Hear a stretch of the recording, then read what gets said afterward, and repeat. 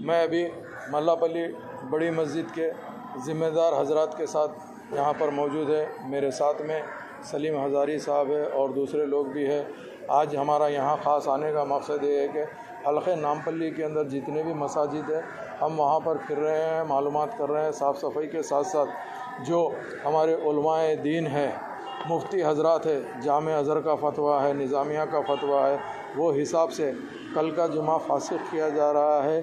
جو حضرات اپنے گھر میں نماز ادا کر رہے ہیں، انہوں ظہر نماز ادا کر سکتے ہیں، چار رکعت فرض، چونکہ جمعہ ایسی حالات پہ دنیا کے کافی جگہوں پہ ہے۔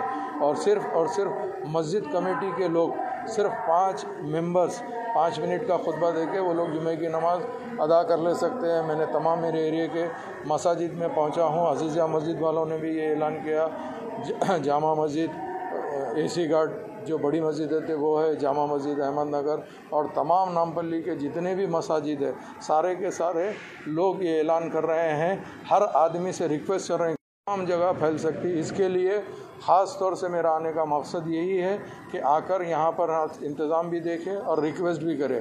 تو الحمدللہ تمام مساجد بورڈ لگا دیے ہیں اور یہی کہہ رہے ہیں کہ جتنے بھی لوگ آئے مسلیہ انہوں اپنے گھر میں ظہر کی نماز ادا کریں۔ میرے ساتھ میں محمد ماجد حسین، سابق عامر اور اقبال صاحب، نمائندہ کارپیٹر ملی پلی بھی موجود ہے بہت بہت شکریہ۔